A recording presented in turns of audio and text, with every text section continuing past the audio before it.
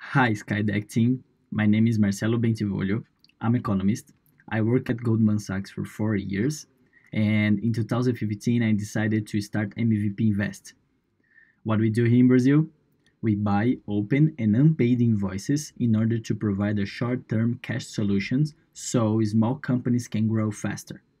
Brazil have a banking system structured as an oligopoly five banks concentrate almost 90% of every loan. It's a huge opportunity. We provide a simple onboarding process with a clear and transparent rate. We also help our client understand which invoice is best to fund, based on cash needs and timing. Basically, we fund helping our clients save money.